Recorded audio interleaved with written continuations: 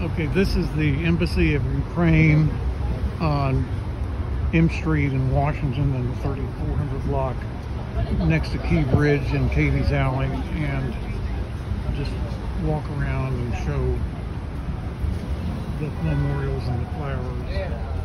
Um, there is there are signs like um, activate NATO or several signs like that. Stop with my people. And there's the actual embassy and there's more. And then you go out and that Want to pull over later? and you go outside and you can see M Street and you can see a garden next to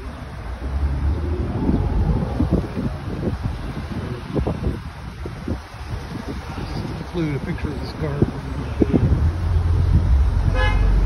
The sun's unfortunately right behind. But I think it rounds up the video to include it. Yeah, I need to get a drone to follow me so I can photograph myself. But um, the garden on DC property outside the embassy.